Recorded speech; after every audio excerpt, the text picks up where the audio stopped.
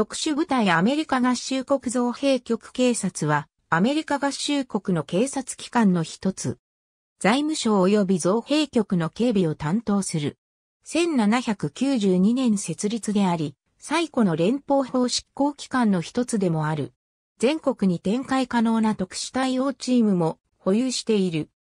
造兵局警察はワシントン DC、フィラデルフィア、デンバー、サンフランシスコ、フォートノックス、ウェストポイントの造兵局施設に保管されている3000億ドル以上の財務省と他政府機関の資産の防護、及び2800人以上の造兵局職員の護衛を任務とする。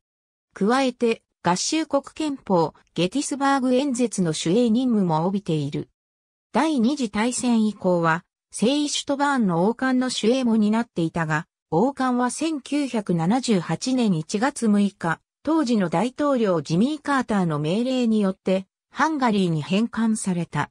現在は地元警察との共同訓練や自転車を使ったパトロールも行っている。近年、造兵局とは関係のない行事の警備にも携わっている。例えば、2度の大統領就任式、ケンタッキーダービー、2002年のソルトレークシティ冬季、五輪、国際通貨基金、世界銀行の会合などが挙げられる。